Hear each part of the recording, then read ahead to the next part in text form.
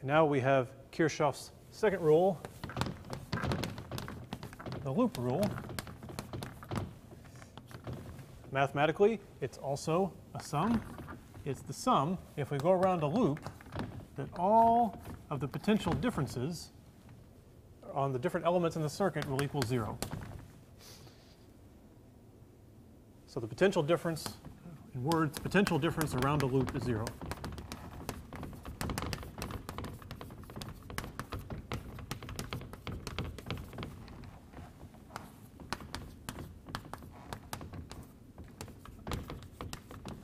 So let's draw a circuit and apply it to see, see how we use this. So we're going to draw just the simplest circuit, our battery with an EMF up here, down to a resistor, and back around. There it is. So step one is to pick a current direction. Just like we did with the junction rule, let's just assume the current flows that way. And I don't need to put a number on it because there's only one current in this case. We only have one loop. Okay, pick current direction. And then two, we need to pick a loop direction. They don't have to be the same direction. They won't always be when you get into more complicated circuits. But a loop direction means we're going to walk around this circuit, think about the potential, therefore we have to go in some direction. So I like to draw something like that, meaning we're going to go clockwise around the loop. You could go counterclockwise if you wanted to, but I usually just, I just always go clockwise just to avoid confusion. And then you kind of need a starting place. You got to pick somewhere to start. Okay, so let's do it. So then what you do is then, step three, let's say, is imagine a test charge.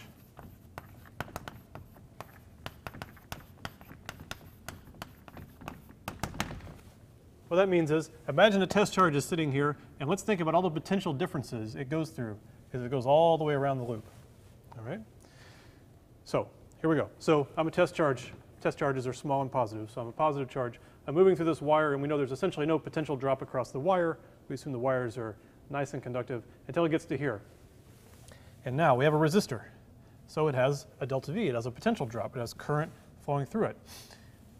We need to put in the delta V of this potential, of this test charge as it goes from here to here. We know this is the high potential. You have a potential drop across the resistor. So we know it goes down. And we know the potential, the delta V is IR. So now we just got to figure out what to put. Well, we're trying to figure out the potential across the resistor plus the potential across the battery is going to be equal to zero. So what do we put here? It's actually negative IR because it's a potential drop.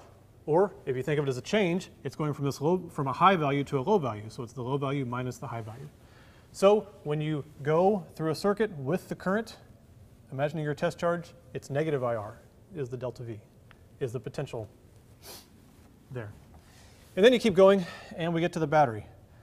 Well, we know that the battery drives uh, current flow, some electrochemical reaction in here, and we know this is the negative terminal and this is the positive terminal. The longer line is always the positive terminal. So if you're a little test charge, you're here at a low potential, you go here, you go up to a higher potential, the final minus the initial is positive, so this is plus um, E, plus the EMF equals zero. And then you solve that and see, well, this is the answer, and does it make sense? And in this case, it does. It just gave us um, Ohm's law. We know that the EMF from the battery equals IR. So that's how you do it, is you walk through the circuit. Now, you could do something weird. You don't really have to guess this current the right way. In more complicated circuits, you might guess the current the wrong way. So let's imagine what would have happened if we had said, oh, maybe the current will go that way. All right, we can do it real quick. If the current's going that way, and I'm a test charge walking this way, I'm going against the current. If the current's going that way, then this will be the high potential side, and this will be the low potential side of the resistor. So whenever you go against the current